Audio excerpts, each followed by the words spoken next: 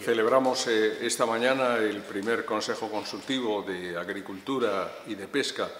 con las comunidades autónomas.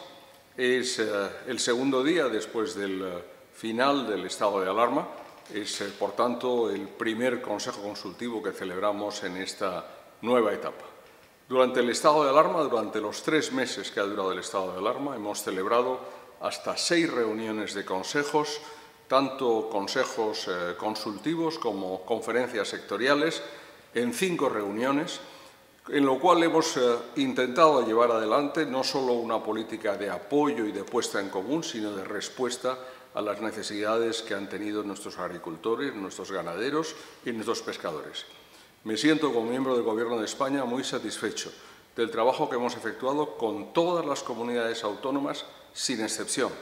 porque yo creo que el esfuerzo común ha valido la pena. Ha valido la pena para darle el apoyo a quien lo necesitaba y que ha cumplido muy fielmente su servicio al conjunto de toda la sociedad española. Ese mismo espíritu espero que impregne este periodo que ahora iniciamos, un periodo muy importante para la recuperación económica y social de España y donde el sector agroalimentario tiene mucho que decir. Y evidentemente el Gobierno de España y las comunidades autónomas tenemos un papel clave para apoyar a ese sector que tan importante es para el conjunto de nuestra economía y para el conjunto de nuestra sociedad.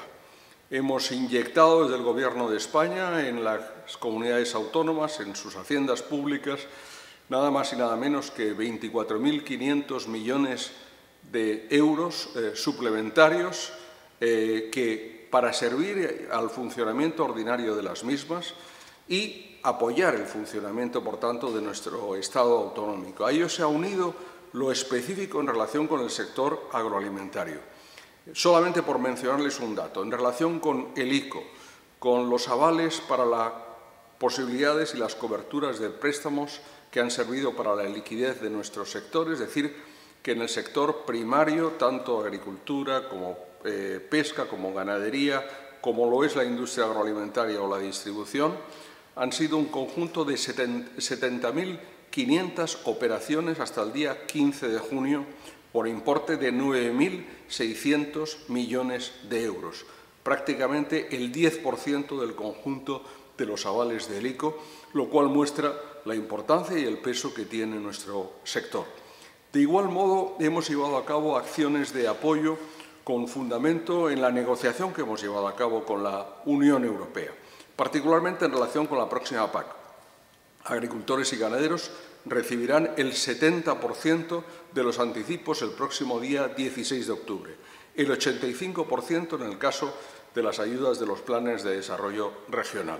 Y además, con un aligeramiento de todos los controles previos para conseguir efectivamente el cobro de esas ayudas en la fecha pertinente y que tan necesarias son en este momento. Igualmente hemos logrado ayudas para el almacenamiento en buen número de sectores de nuestra agricultura y ganadería. Y finalmente hemos conseguido negociar el que los fondos no comprometidos de los planes de desarrollo regional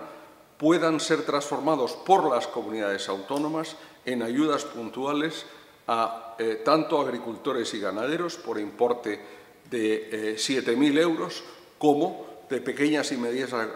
empresas agroalimentarias hasta 50.000 euros. Yo creo que todos ellos son logros muy importantes a los que me gustaría sumar, evidentemente, el esfuerzo que hemos hecho en relación con el sector del ovino caprino, 10 millones de euros a sumar a los 168,5 millones de las ayudas de la política agrícola común, más aquello que han añadido las comunidades autónomas, muchas de ellas, para apoyar una medida que era necesaria y que ha surtido efecto, porque de hecho, incluso antes de haber sido percibida, hemos conseguido, vía reanimación del mercado y exportaciones, que el sector, tanto del ovino caprino como los demás sectores ganaderos, se encuentren hoy en una buena eh, situación. Como ha ocurrido en el sector del vino, con el decreto que hemos aprobado por un importe de 90,5 millones de euros, que se suma al resto de las medidas incluidas hasta 210 millones de euros en el plan de apoyo al sector del vino español, que tan importante es, yo creo que para el conjunto tanto de nuestros viticultores como de nuestras eh, bodegas. En el día de hoy voy a poner sobre la mesa, como conclusión de esta etapa, pero también como antecedente de esta recuperación,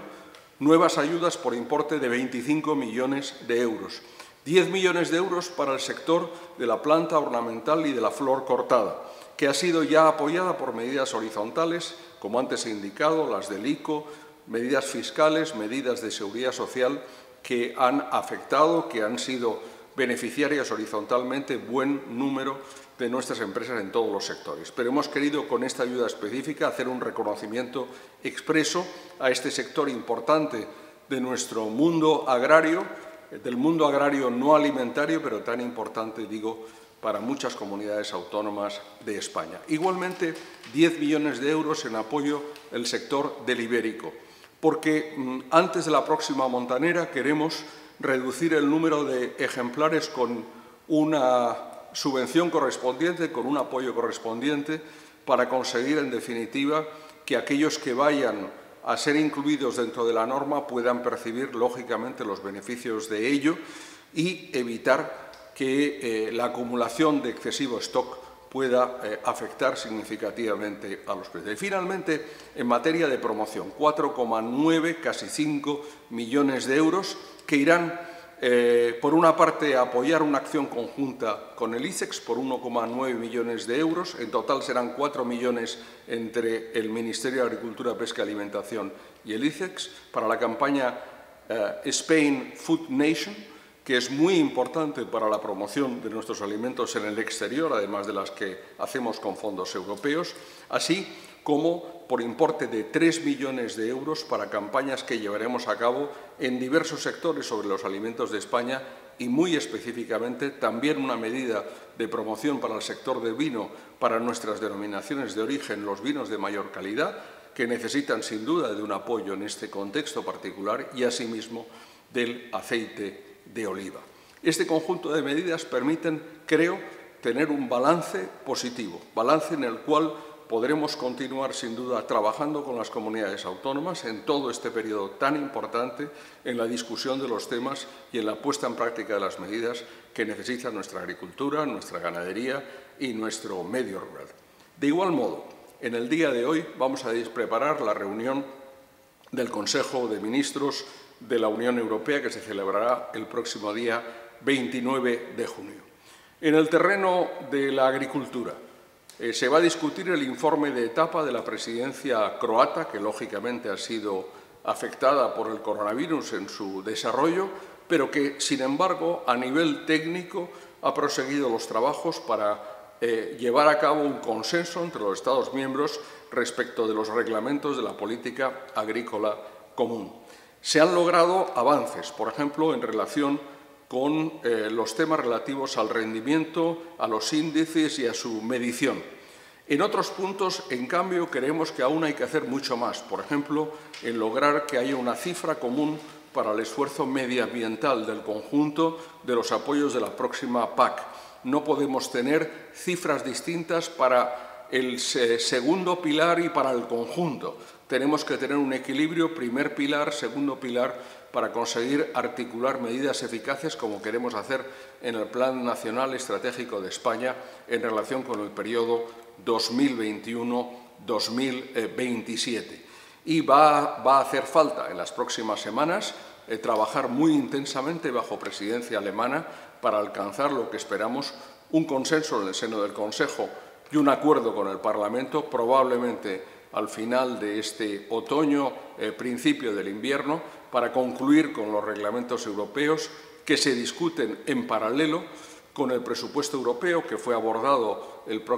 pasado viernes en el Consejo Europeo, celebrado por videoconferencia, y sobre el cual volverán los jefes de Estado y de Gobierno eh, a mitad del mes de julio. Esperamos que logrando un acuerdo que será muy importante para defender esa PAC, esa PAC bien dotada que necesita España, que necesitan agricultores, ganaderos y medio rural, al menos con la misma dotación que en el periodo 2014-2020 eh, para el periodo 2021-2027 y qué es la posición de partida del Gobierno de España. Pues bien, sobre todo eso también tenemos que discutir en España, tal como me comprometí con los consejeros y consejeras antes de final del mes de julio. Mantendremos una primera reunión monográfica que seguirá a las que ya hemos celebrado en el pasado eh, en relación con los temas de la PAC, pero ya yendo perfilando las líneas de aplicación en paralelo. Aún no lo podemos hacer definitivamente porque nos falta el presupuesto y nos falta el texto final de los reglamentos,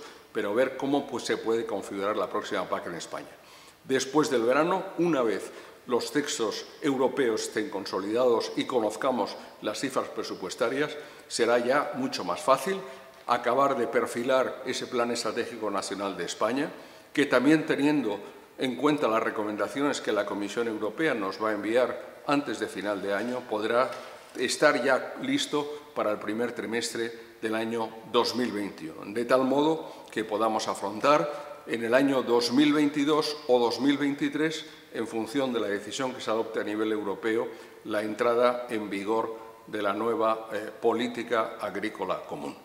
En materia pesquera es igualmente importante la reunión de hoy preparando la del próximo lunes día 29, porque está sobre la mesa la primera propuesta en relación con la situación en general de las pesquerías europeas y, por tanto, el inicio de la discusión sobre los tax y cuotas eh, este año, que serán aplicables al año 2021, con una situación evidentemente nueva, incluyendo evidentemente el final del periodo transitorio esperado en relación con el Reino Unido. Aquí se hace un esfuerzo científico muy grande para que el conjunto de las pesquerías estén situados en niveles de rendimiento correspondiente y que tengan un soporte científico y esperamos que ese equilibrio entre la actividad extractiva y evidentemente la tarea de conservación pueda mantenerse y esa es la posición de España. Hay también discusión en relación con la preparación de los reglamentos en relación con el Fondo Europeo Marítimo y de la Pesca se avanzará en ello. España está defendiendo el que podamos llevar a cabo mejoras energéticas en nuestros barcos y, sobre todo, de seguridad e higiene en el trabajo para nuestros eh, tripulantes. Me permito recordar que hay 500 millones de euros más en la última propuesta de la Comisión para este fondo para el próximo eh, marco y también las medidas de control que deban llevarse a cabo desde el punto de vista tecnológico más desarrollado, diría, la digitalización aplicada al control de las pesquerías y especialmente de los descartes en nuestros buques eh, pesqueros. Y finalmente un tema que no es menor, que es muy importante, que es la captura accidental de, delfines y eh, de otras especies marinas protegidas. Nos parece un tema muy importante, es un tema que quizás cuantitativamente sea pequeño, pero que tenemos que evitar a todo precio. Estos son, sin duda, son cetáceos marinos que debemos proteger no solo porque sean especies protegidas, sino porque son parte de nuestra biodiversidad y tenemos que llevar a cabo toda la actividad extractiva, la actividad pesquera, respetando al mismo tiempo lo que es la biodiversidad de nuestros mares, de nuestros océanos y, por tanto, llevar a cabo medidas técnicas en esta materia, cuestión que vamos a debatir en el próximo Consejo del próximo lunes, me parece una tarea muy importante. Por tanto, un, un orden del día muy denso, muy interesante. Espero que, como siempre, con un ánimo constructivo y para lograr los mejores resultados para España, los mejores resultados para nuestros agricultores, para nuestros ganaderos y, sin duda, para nuestros pescadores.